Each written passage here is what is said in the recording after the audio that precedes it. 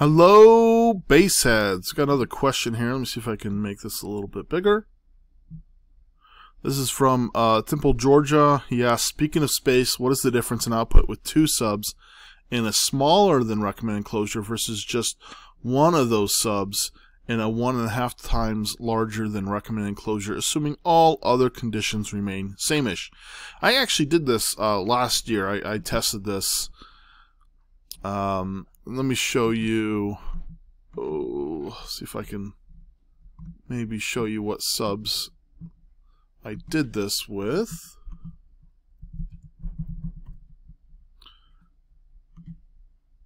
I ran this with Fi. Fi, by the way, I, I I'm not affiliated with them at all. Uh, they're made in America stuff, and they just make really good stuff. And what's nice is they don't they don't have middlemen, so it's not like they're selling to another company and then selling to you. They sell directly to you, and so the prices are relatively good. Uh, anyways, this is it. The MT.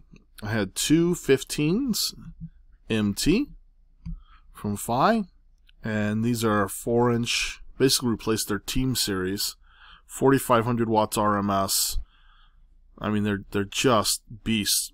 And the 15, right down here,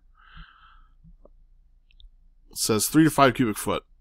So I did two in a six cubic foot box, and then I did one in a six cubic foot box. Don't worry, I was running a fraction of the power these can handle, so I wasn't going to hurt it in any way. Uh, in the spirit of that, I I I tried to look up another Fi option. I, I found the Fi Audio X15 had basically the same recommended box size, and we're going to play with that in here. The MT wasn't in the speaker SpeakerLite database, and um, sometimes it, it, takes a little bit of time to try to input it, so I'm just going to do this for you. So we got one of these 15s right now, and the enclosure let me see if I can move this over so you can see that. There we go. 6 cubic foot, and I tuned it to 32 hertz. This is ex exactly what I had in my car. Uh, 32 hertz tuning with 6 cubic foot. So we're going to draw that with one of these.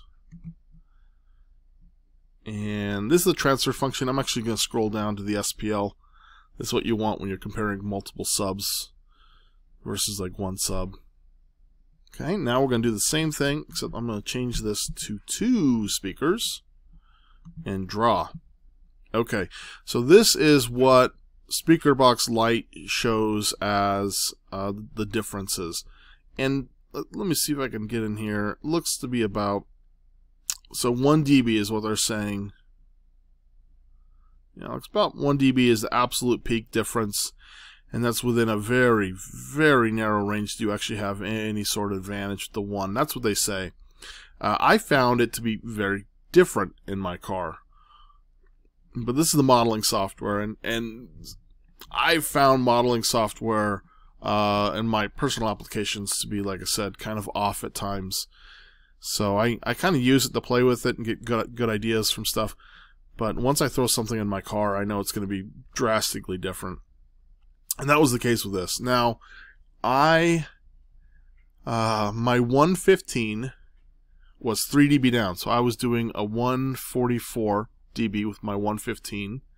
The 215s, I was uh, doing 147, but they were getting 50% more power because my amp was wired down more.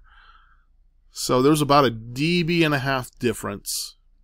But I'll tell you, the most important difference was not what was showing on the meter, but was the experience.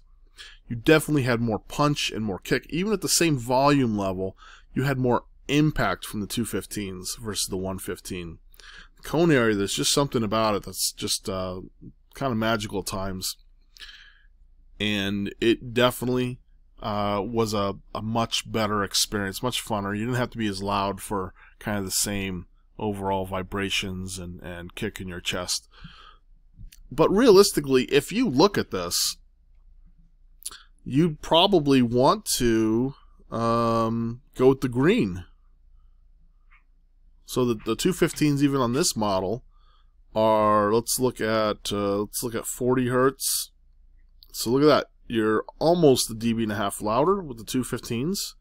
50 hertz, you are you know significantly louder. It's almost 3 dB. Even down here at 20 hertz, look at that. You are you're you're quite a bit louder. So the the, the 215s overall, absolutely, I would rather shove um, 215s into a spot that's too small. So I'd rather use too many subs in a spot that's too small versus one sub in a spot that's you know plenty big. Now if this if this was different, in fact, let's try this really quick. I'm going to remove these and we're going to try recommended size and we're just going to see what the graph shows us for recommended size. So we're going to go down to 4 cubic feet because it was between 3 and 5. And we're going to try, oops, scroll down here. Let's try one sub first.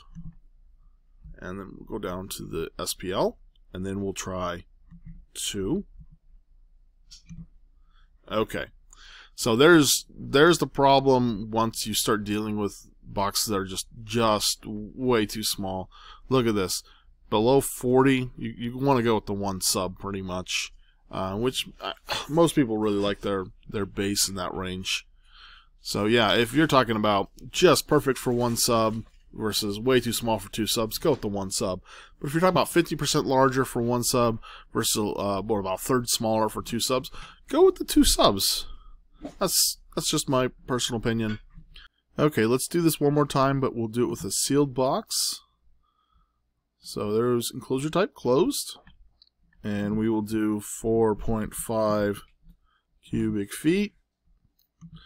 And we'll go down to speaker, and let's just select one here, and we'll draw that. Alright, perfect. And now we're going to go and we'll do two speakers, right there, two speakers. Let me make sure my enclosure is the same. Perfect. Let's go ahead and draw that. Okay.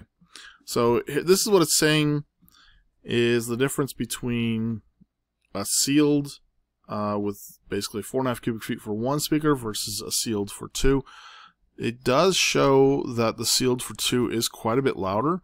This is something I have not tested though, so I can't say this is going to be completely true. I do know these these higher numbers will absolutely favor the two. They're going to love a sealed box with you know kind of a smaller space.